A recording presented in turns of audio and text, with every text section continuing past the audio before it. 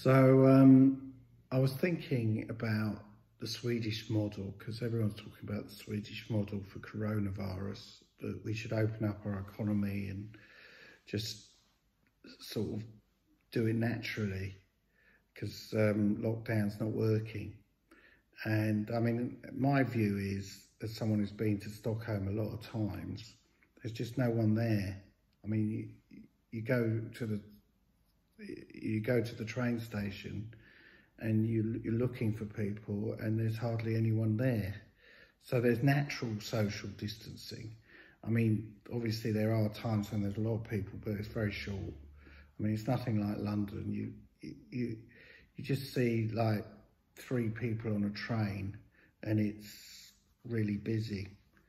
And, and on the bus, there's always room and uh, I mean, there are peak times, but overall, there's just so much room. I mean, they drive and it's like adverts. You just see a car with road, especially in the centre of Sweden. You, you don't see anyone. You, you just see a lot of trees, maybe uh, some sort of reindeer.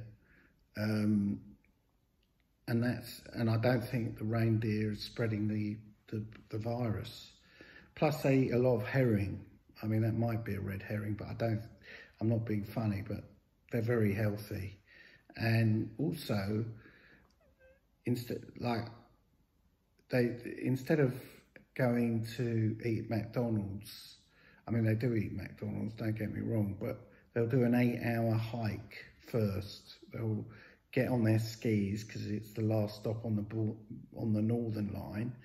They'll get go walking skiing, and then they might go for a McDonald's afterwards when they've burnt off 12 million calories. So there's no way that, that they're you know we're a lot more obese because they're always cycling or going getting on skis, or sometimes they cycle with their skis on them.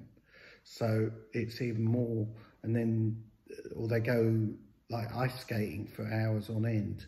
So there's all these reasons why they're a lot thinner and healthier and um, plus because they don't see each other in the winter because they just stay inside and, and sit by a candle and have herbal tea or hot chocolate a lot of the time.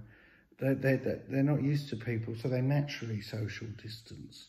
When you meet them, um, and also they don't they don't like sort of buying drinks because it's expensive. So they'll buy their own drinks at the bar and then so there's not a lot of you know they might just sit alone and just have a beer. Um, so it's easy for them. That's what i'm saying. I mean basically there's no one there especially during the winter. And the winter lasts till about May. And then it's 24 hours, the summer, for about two weeks to a month, where everyone goes out, but they're all outside. So the virus hasn't got a chance. Cheers.